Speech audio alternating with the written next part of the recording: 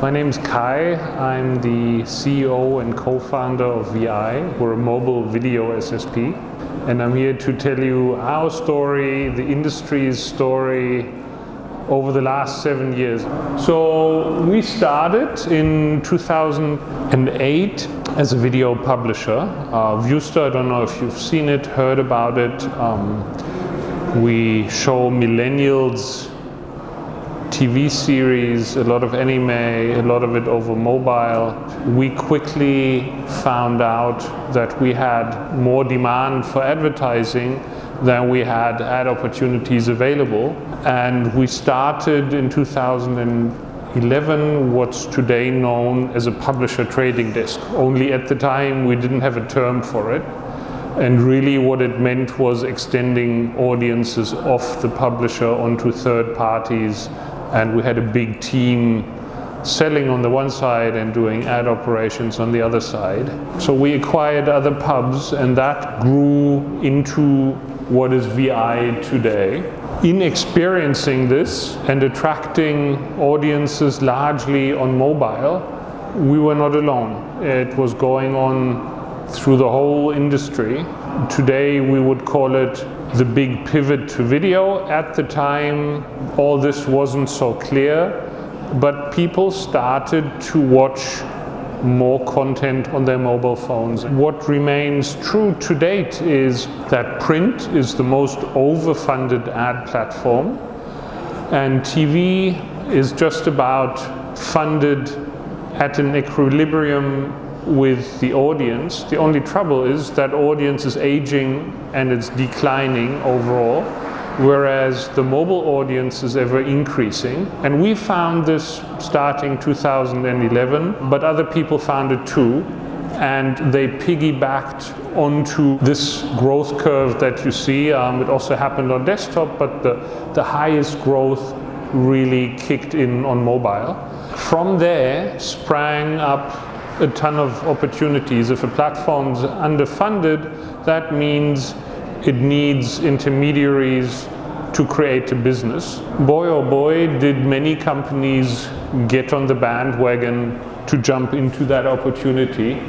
The only trouble was that people were kind of getting greedy about the opportunity and often enough a premium advertiser, a brand advertiser would try to buy an impression that was full screen mobile, premium, on a premium publisher, and effectively the inventory kind of ran through this cloud in the middle of middlemen. Often nobody really knew how many middlemen.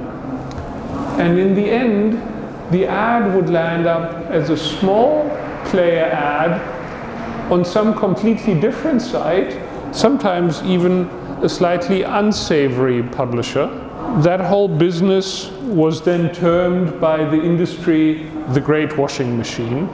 Advertisers thought they were buying amazing quality. Effectively, they got something a lot less valuable than what they had thought they were buying. It was almost like you could have locked maybe half the ad tech companies at the show in the room and they would have happily done business with one another, arbitraging one another without the final buyer or the final publisher in sight on either, on either side of the equation.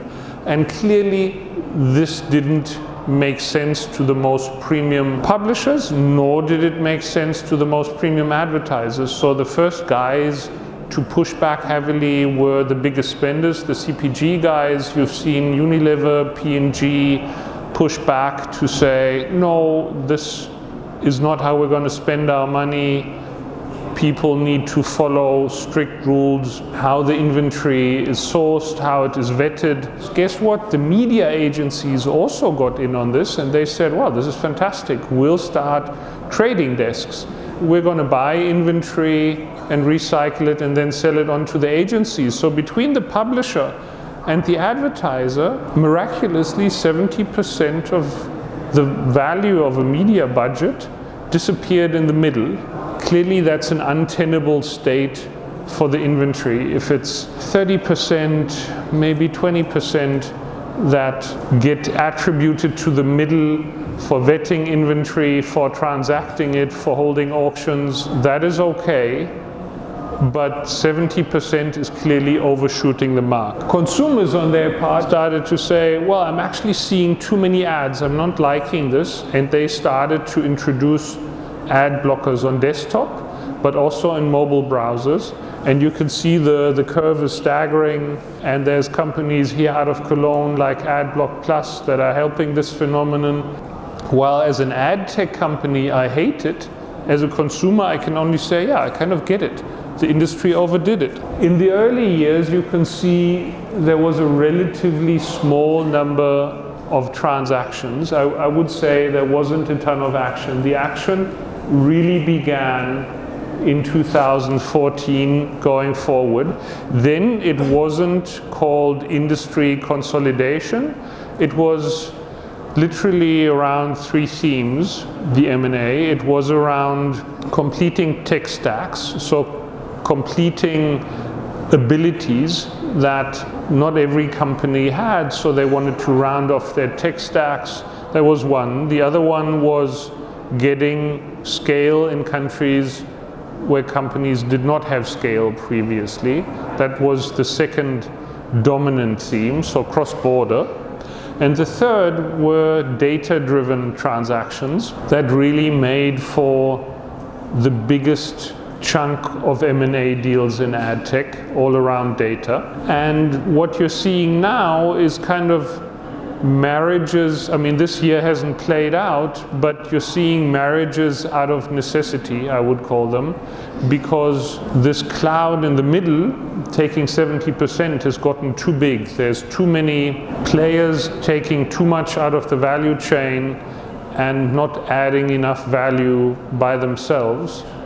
Digital advertising is still growing, even with all the noise and the clutter of the big CPG companies reducing budgets and enforcing different spending rules.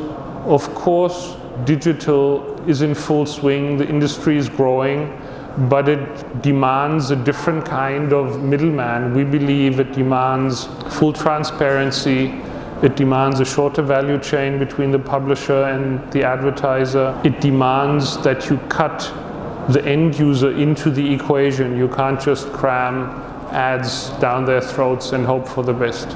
Thank you.